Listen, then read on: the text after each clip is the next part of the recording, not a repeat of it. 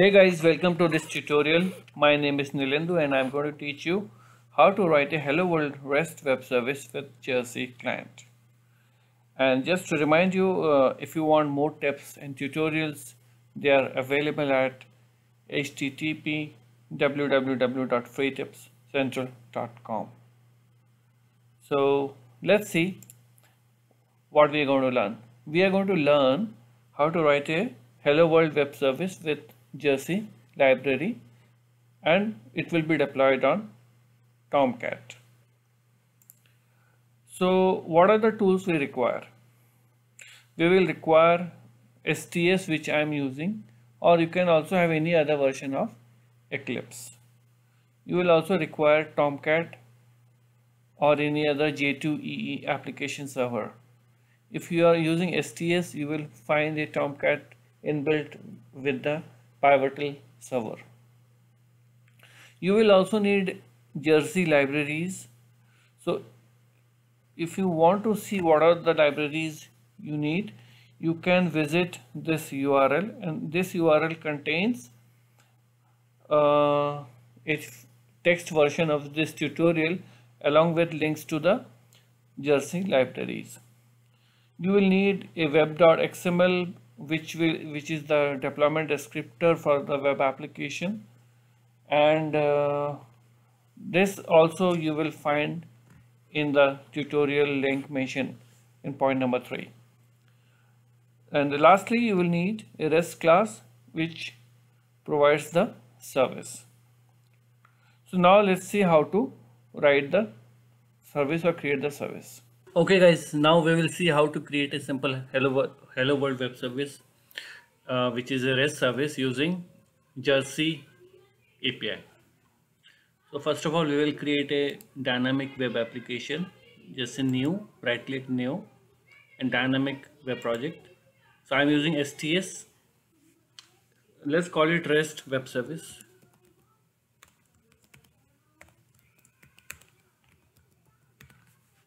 and we will select Tomcat. So I'll go here.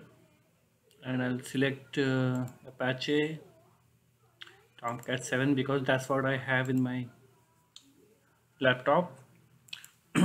C drive then uh, software.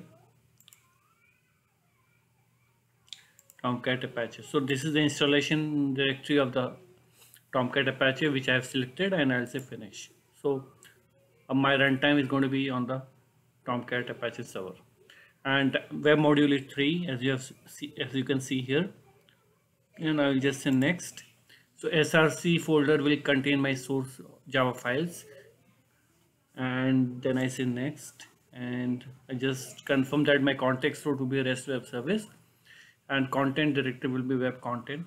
And then just finish and I'll say yes just so that I can go to J2EE perspective. so I have a basic uh, structure ready for the project.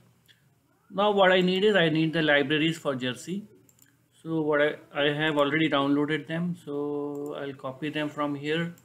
Copy and paste.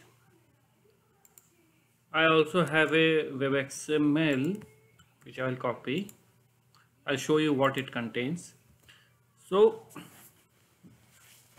you can see several jars, all of which may not be required for this uh, demo, but we will be needing them when we see how to work with JSON or XML later. So I've kept all of them instead of downloading again and again.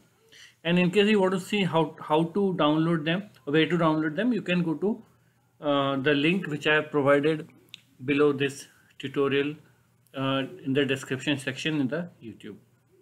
So we have everything. Now we will create a package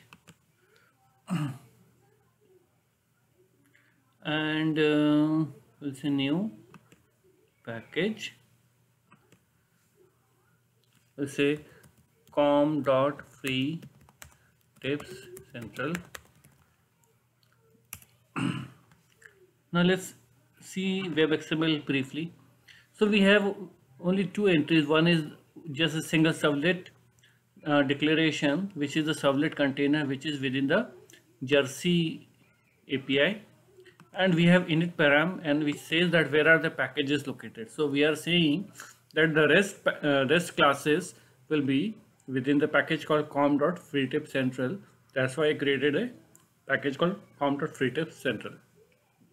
And the servlet will be mapped to slash rest so that means if you want to access the uh, REST service, you have to add slash REST slash then the service name if you want to access the REST service.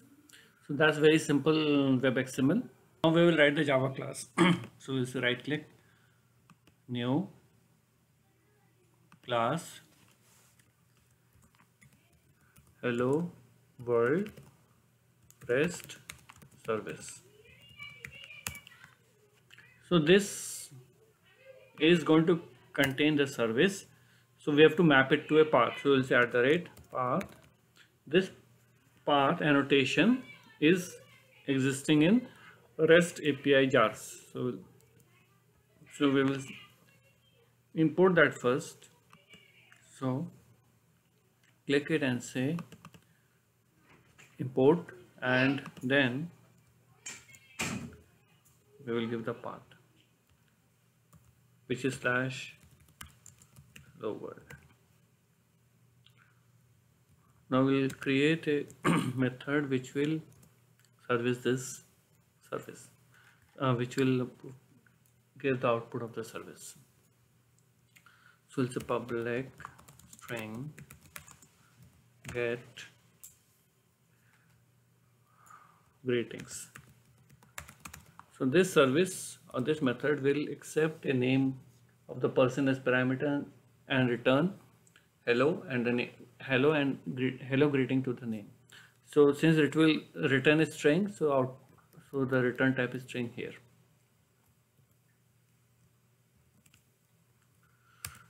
So let's create a variable called greeting and we will initialize it with hello.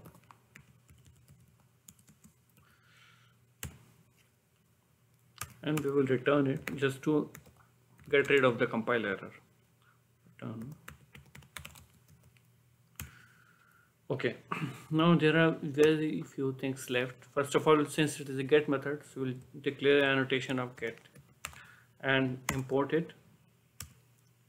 Then we will tell that what kind of output is produced by this method. So we'll say it produces and we'll say media type dot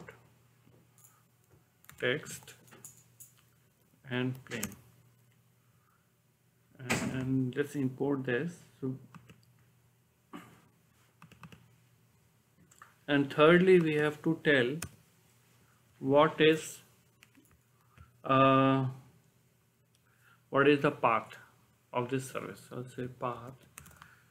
So since we are expecting a name as input so we have to give that a variable name. So let's call it name. So we are whatever is passed that will be passed through this name variable. And just two more things left. One is we have to declare a context which will contain the context of the request and uh, value is http headers.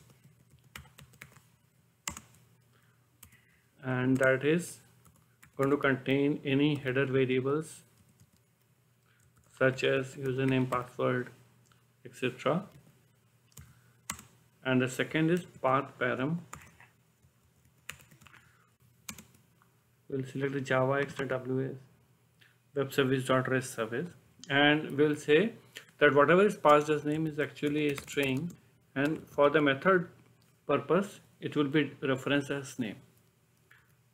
And then whatever is coming from here this will be return, uh, stored as hello a name and will return the greeting.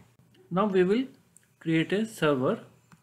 So let's create a server. So right click new server and we will say apache tomcat. Tomcat and we'll give uh, our version. And just say next.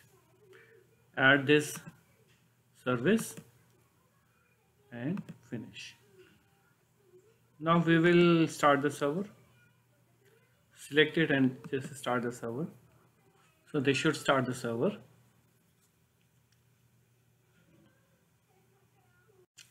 Okay so our code is complete. Now we will try to access this service.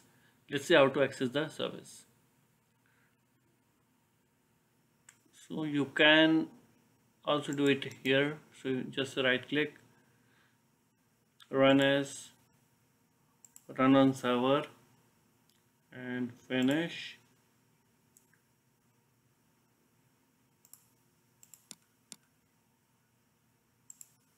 so we will now map it to the path where we have so slash rest because in web xml we have mentioned that every rest resource will be accessed via rest uh, URI then we'll say hello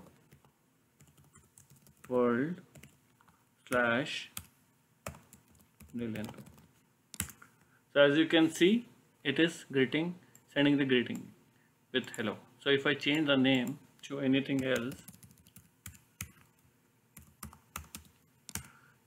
so output will be changed. So reason why so the reason why we have said slash hello world is because it's mentioned or mapped with slash hello world. And this name parameter is nothing but what is mentioned here. So i hope this tutorial was useful to you. And uh, in case you have liked it please uh, like my video and also subscribe to my channel because i'm going to add few more tutorials on rest service very soon and see you again next time